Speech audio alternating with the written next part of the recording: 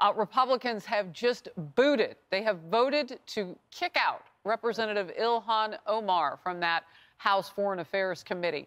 218 votes to 211. Uh, the vote removing her, and you have what reaction?